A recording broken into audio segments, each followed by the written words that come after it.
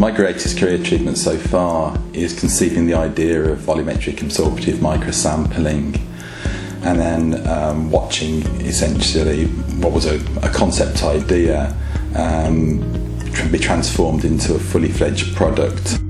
Um, so I've been very lucky to, to work with some really talented people, uh, both within what was Phenomenex, is now Neoteryx, and uh, have to uh, say a big thank you to Neil and Phil Denniff, who um, provided a lot of encouragement and enthusiasm um, throughout the, the, the, the project.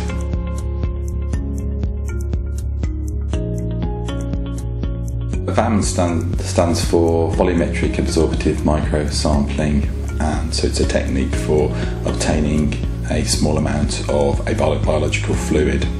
Um, it's based it's based upon the best bits of dry blood spot and also um, um, low volume pipetting. So the idea behind it is that you've got a, a um, small absorptive uh, hydrophilic polymer on the end of um, what looks like a pipette tip. So the idea is that you um, uh, apply the tip at a positive angle at a blood pool whether that's a finger prick or uh, it's taken from a, an animal's tail or a child's heel. And then very rapidly, the, the, um, the blood in this case is absorbed on, onto the tip, allowed to dry. Um, it's quantitative, it, it takes up 10 or 20 microliters, which solves one of the fundamental issues of DBS. Then, in very much the same way as DBS, the tips are dried, uh, or the blood on the tips are dried, and then they can be sent uh, via regular mail to a laboratory. So it allows for remote sampling and then testing at a laboratory many thousands of miles away. Within the laboratory, this is where the pipette tip comes into into play, because the, tip, the having a pipette tip means that you can have the op option to automate the product onto standard lab liquid handling systems.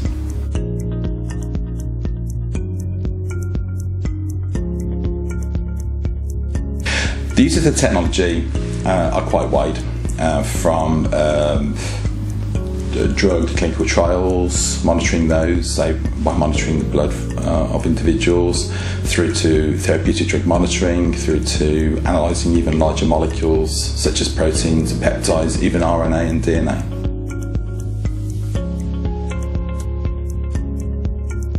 The limitations of the technology is based upon what it is you really want to measure and how you're going to measure it. Um, and so, if one takes, for example, um, an immunosuppressive like tacrolimus, it's a perfect candidate for uh, for volumetric absorptive microsampling because that molecule will actually partition mainly into the hematocrit, and in actual fact, in a hospital, it is a um, it is analysed from blood, not from a portion of blood, such as um, uh, plasma or serum. Um, so it's a perfect candidate. Um, on the flip side, if one wanted to measure um, potassium, then it wouldn't be a good candidate, and the reason for that is because um, plasma potassium is, is, is tested quite a bit in hospitals uh, in, in, in terms of measuring electrolytes but the body um, will pump selectively potassium into cells. Uh, when you collect blood and you um, let that blood dry onto a Mitra tip or any surface like a DBS card, then um, the drying action and also the reconstitution action actually releases the contents of cells through hemolysis. And so, because you've actively pumped a lot of potassium into the cell, uh, then when you've hemolyzed the cell, you are emptying that cellular content, which then makes the data uninterpretable.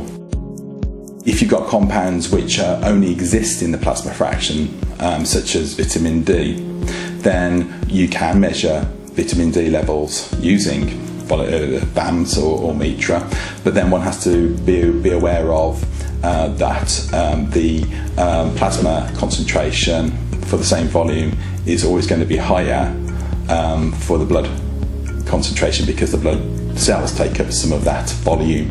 So one has to think about um, thinking about different reference ranges or adjusting the data to match the plasma data. So it's really where where you um, uh, what, what it is you want to do.